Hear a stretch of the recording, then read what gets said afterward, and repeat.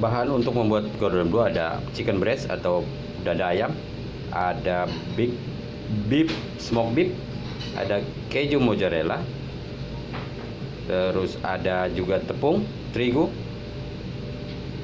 ada tepung roti atau bread. ada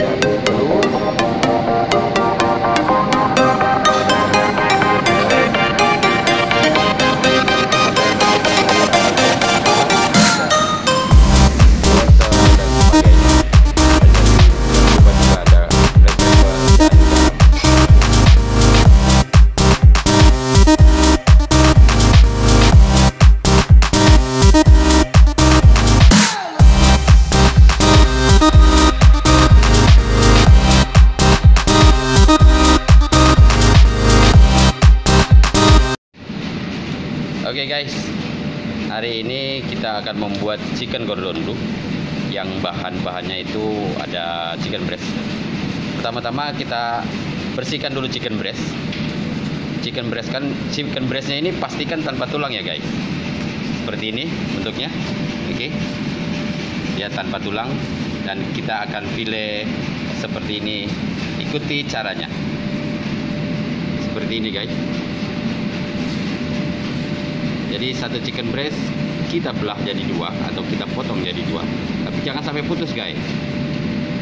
Karena apa? Terus saksikan video ini agar semua tahu. Oke, seperti ini. Setelah itu kita beri bumbu. Kita beri bumbu. Oke beri garam. Kemudian kita beri black pepper. Oke. Bagian satunya juga seperti itu. Sama seperti beri garam dan black pepper. Oke.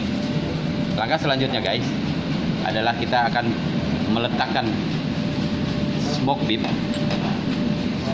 di bagian tengah dari chicken breast itu sendiri. Seperti ini ya. Oke perhatikan sekali lagi. Kita letakkan. Oke persis di bagian tengah dari chicken breast itu sendiri. Oke. Kemudian kita letakkan juga keju mozzarella yang sudah kita siapkan seperti tadi.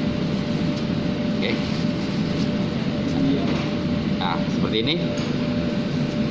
Dan akhirnya chicken breast, smoke beef dan keju mozzarella ini kita gulung atau kita roll seperti ini. Oke. Perhatikan arah rollnya sekali lagi. Oke. Agar kalian semua paham guys seperti apa membuat chicken gordon blue. Oke. Ini tahap 50% nya dari gordon blue sudah terbentuk. Oke, tahap selanjutnya kita pecahkan telur yang sudah kita siapkan.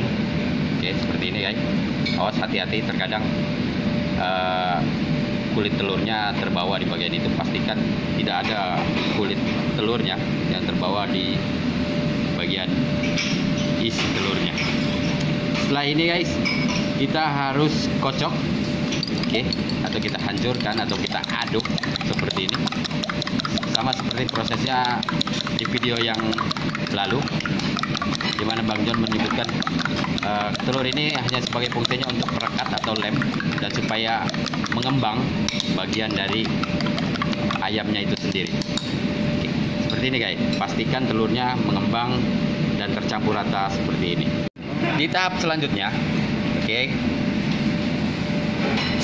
chicken breast yang tadi yang sudah kita isi dengan smoke beef dan keju mozzarella, kita balur dengan tepung terigu dulu guys. Seperti ini prosesnya. Kita balur rata semuanya agar semua pori-pori yang ada atau pecah di bagian chicken breast yang kita potong tadi itu sedikit tertutup. Oke. Kemudian kita masukkan ke kocokan telur yang sudah kita siapkan seperti ini kita aduk rata juga sama prosesnya. Nah ini fungsinya untuk merekatkan bagian-bagian pori-pori yang sudah terputus atau pecah seperti yang saya sampaikan kita kembali lagi ke tepung terigunya. Oke balur. Ini dilakukan selama dua tahap ya. Oke kembali lagi ke telur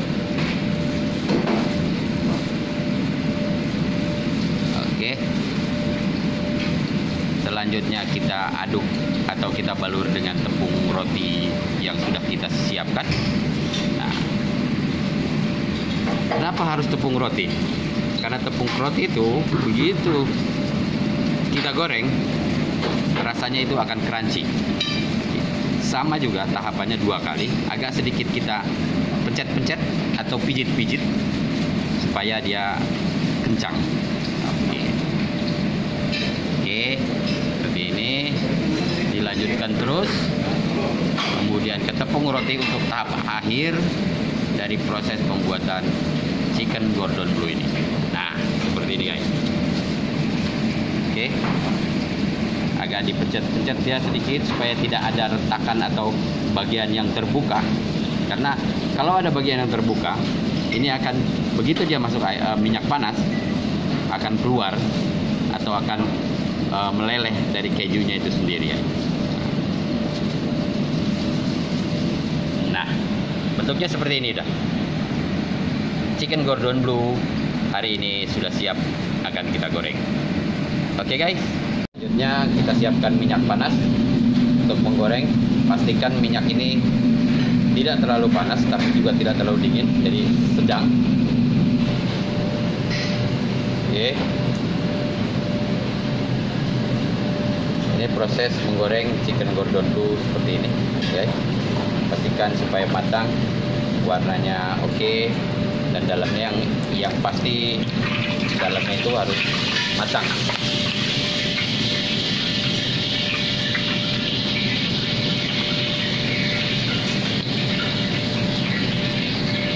Oke guys, ini dia chicken gordon blue yang sudah kita goreng tadi. Selanjutnya kita potong seperti ini, potong menjadi dua bagian. Terlihat terlihat cheese-nya melted banget, Jay. Oke. Okay. Oke. Okay.